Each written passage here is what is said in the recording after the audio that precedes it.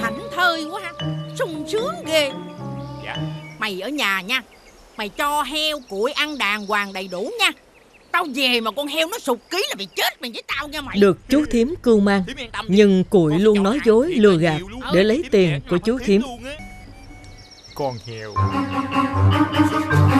Tại tao biết nhà có của. Đồ ăn dư thừa cho nó ăn. Heo chắc thịt mới có giá đó. Bán không bán thôi không mua đâu. Thôi đưa tiền đã đi Chịu phải không? Đây nè. Cảm ơn. Cái gì? Con heo chui xuống đất. Con nói thiệt mà. Chú thím uh, gị nhẹ nhẹ thôi. Để con bươi coi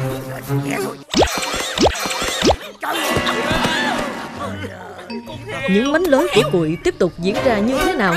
Và có bị phát hiện hay không? Nói rồi gị nhẹ thôi. Gị sao nó đứt cái đuôi chui xuống dưới luôn kìa? Mời quý khán giả đón xem truyện cổ tích Nói dối như Cụi phần 1 Phát sóng vào lúc 19 giờ 30 phút Chủ nhật Ngày 18 tháng 3 năm 2018 Trên kênh truyền hình Vĩnh Long 1